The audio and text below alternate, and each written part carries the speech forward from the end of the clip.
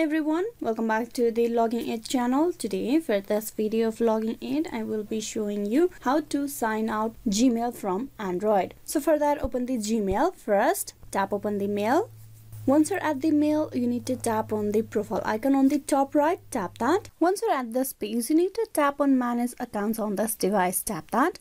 Now here you will have your Google account or the Gmail account over here. Tap on that email and you will have the option of remove account. You tap on that Remove this account will delete all of its messages, contacts and other data from the phone. Tap on remove account. This way your account will be removed and you will no longer have your Gmail on Android. This is a process of logging out of Gmail on Android devices. So this is how you can log out or sign out of Gmail on Android. Hope this video was useful. Please like and subscribe the Login Aid channel. Thank you for watching till the very end.